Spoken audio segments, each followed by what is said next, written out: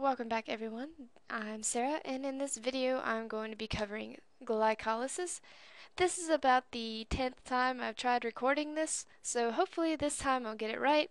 I had to stop a couple of times because I noticed I made some mistakes, blah blah blah blah blah blah. I haven't had any caffeine today, so I'm struggling. I'm a I I'm addicted to energy drinks. It's bad, but I'm a normal college student, 22. I mean, I've taken 18 hours, and I'm double majoring in biochemistry and microbiology. So, my days are not easy. But anyways, enough about me. Let's get started on some cellular respiration. Cellular respiration is how cells produce energy. Energy is normally stored in a molecule called adenosine triphosphate. I can't even talk today. Anyways, ATP, adenosine triphosphate.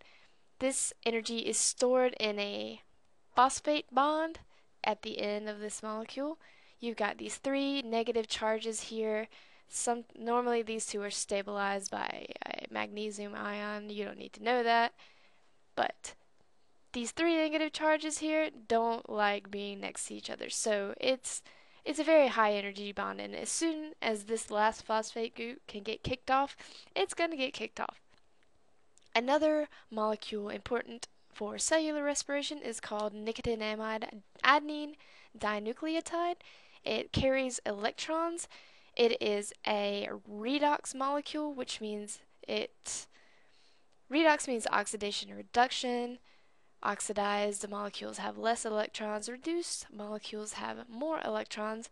You might see me write this as NADH.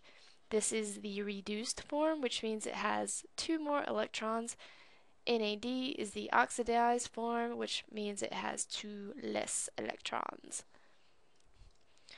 Glycolysis is a form of anaerobic respiration, meaning that this does not require the presence of oxygen. It can do it without oxygen. So, it occurs in a heck of a lot of organisms. It occurs in the cytoplasm.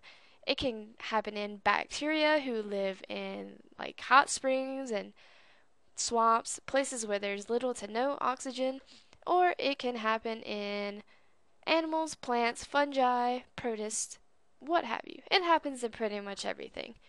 The first step of glycolysis is when the molecule glucose is converted to glucose 6 phosphate using the enzyme hexokinase, and this is going to use one molecule of ATP, to produce one molecule of ADP this enzyme is going to take that last high energy phosphate bond from ATP and it's going to stick it on the sixth carbon here of glucose as you can see. Glucose 6-phosphate is converted to fructose 6-phosphate by a enzyme called phosphoglucose isomerase. Glucose is a six-membered ring. You can see here fructose is a five-membered ring. So this enzyme is just going to switch one of these bonds over. The first carbon kind of cakes out doing its own little thing, but the phosphate is still attached to the sixth carbon of the molecule. Phosphofructokinase is going to take another phosphate group off of an adenosine triphosphate and stick it on the fructose 6-phosphate to produce fructose 1,6 bisphosphate. So unlike fructose 6-phosphate, you can see here, fructose 1,6 bisphosphate has this extra phosphate group sitting on the first carbon of the molecule. Fructose 1,6 bisphosphate is broken down into two three-carbon substituents by the enzyme, enzyme aldolase. These two three-carbon substituents are glyceraldehyde 3-phosphate and dihydroxyacetone phosphate. And these two molecules can be interconverted by the enzyme triose phosphate isomerase. So, from here on out, all the, the rest of the steps in glycolysis, you're going to have two molecules being reacted instead of one. So you're going to get double the product. But anyways, you can see your glyceraldehyde 3-phosphate, phosphate stuck on the third carbon here, and you also have dihydroxyacetone phosphate right here. You're going to have your glyceraldehyde 3-phosphate molecules, remember you have two of them now because your dihydroxyacetone phosphate is converted into glyceraldehyde 3-phosphate. So you're going to have your two glyceraldehyde 3-phosphates converted to 1,3-bisphosphoglycerates using the enzyme glyceraldehyde phosphate dehydrogenase. For each molecule you have for each molecule of glyceraldehyde 3-phosphate, you have one inorganic phosphate and one oxidized form of nicotinamide adenine dinucleotide. This is going to be converted into the reduced form of NAD and 1,3-bisphosphoglycerate. The inorganic phosphate is going to be stuck onto the first carbon here of bisphosphoglycerate. Your two molecules of bisphosphoglycerate are going to be converted into two molecules of 3-phosphoglycerate. The extra phosphorus, or excuse me, phosphate group from carbon 1 is going to be stuck onto adenosine diphosphates, ADP, to produce ATP. This is what you want. The cell wants energy, the cell needs energy, here's your energy. So you can see here you've got your 1,3-bisphosphoglycerate with the phosphate groups on both carbons 1 and 3. 3-phosphoglycerate is only going to have the phosphate group on the third carbon. Your two molecules of 3-phosphoglycerate are going to be converted into 2-phosphoglycerates by the enzyme phosphoglycerate mutase. This just means that the phosphate group from the third carbon is going to be switched over to the second carbon and this hydroxide ion here, or hydroxyl group rather here, is going to be switched over to the uh, third carbon.